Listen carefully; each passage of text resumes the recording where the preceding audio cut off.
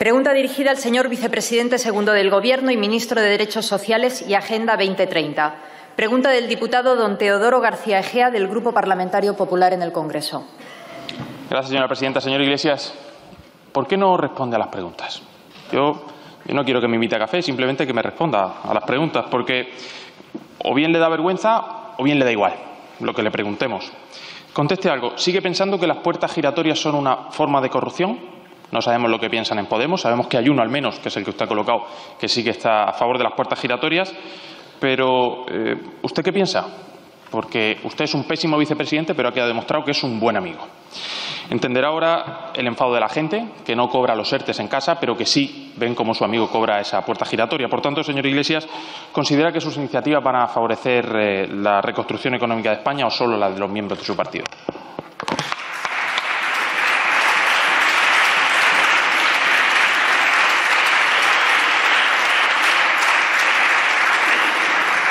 Señor vicepresidente segundo del Gobierno. Gracias, señora presidenta. Gracias, señor García Egea. Ha formulado usted dos preguntas. La respuesta a la primera es sí.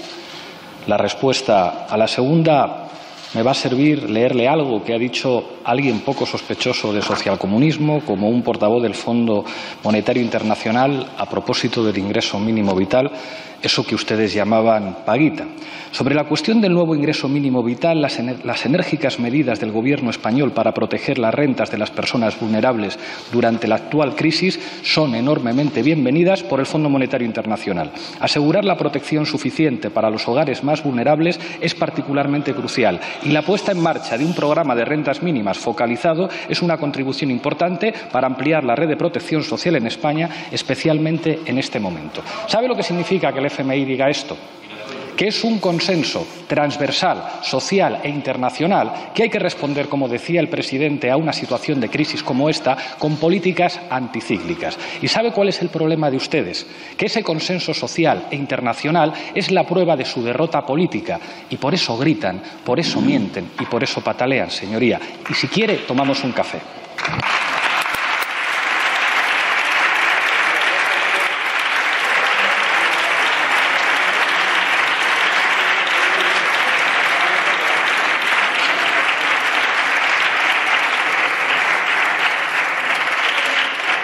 Señor García Egea. Es usted el vicepresidente de Derechos Sociales. Y el primer derecho social que tienen los españoles es que sus gobernantes no se rían de ellos a la cara, como usted hace todos los miércoles. Usted asumió el mando único de las residencias de mayores, es decir, el único que manda en este tema. ¿Me podría usted decir, me podría usted decir una decisión concreta que haya tomado en materia de protección a nuestros mayores? Una porque sabemos que le ha dado tiempo a ocupar un sillón en el CNI, a nombrar a 92 asesores a dedo eh, y a insultar al presidente Casado y a los que de verdad han salvado vidas en esta pandemia y se han anticipado todos ustedes, que son los presidentes autonómicos del Partido Popular. Pero algo concreto, porque ahora seguramente se esforzarán en hacer uno de estos numeritos suyos, pero, señor Iglesias, ¿qué es eso tan grave que ocurrió el 8 de marzo que ustedes quieren tapar?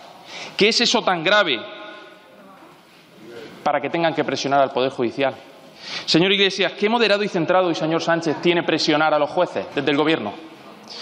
Usted y el señor Sánchez están acusando de falta de rigor a la Guardia Civil. Usted y el señor Sánchez, los de los test falsos, los de las mascarillas falsas.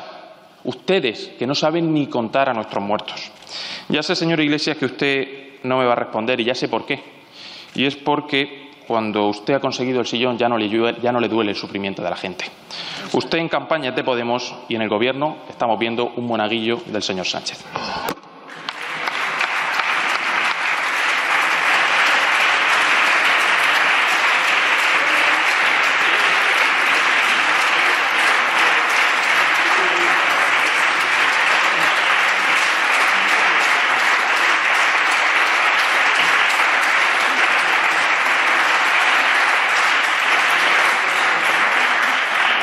Señor vicepresidente segundo del Gobierno. Gracias, señora presidenta. Señor García Egea, que ustedes mientan no es una novedad, pero que ustedes lo hagan a los niveles a los que lo están haciendo, cuando se trata de vidas de millares de ancianos en este país, es algo deleznable incluso para ustedes. Usted ha traído argumentarios, datos y recortes del periódico El Mundo. Yo le voy a leer simplemente la orden del Ministerio de Sanidad del 23 de marzo sobre las residencias de mayores. Se faculta a la autoridad competente de la comunidad autónoma, en función de la situación epidémica y asistencial de cada centro residencial o territorio concreto, a intervenir los centros residenciales. Los centros residenciales sujetos a la inspección quedan sujetos a la inspección de los servicios sanitarios de la comunidad autónoma correspondiente.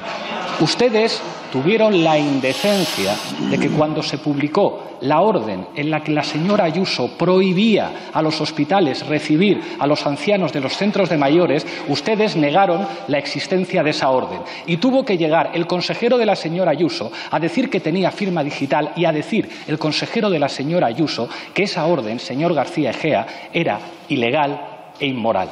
Qué poca vergüenza, señoría.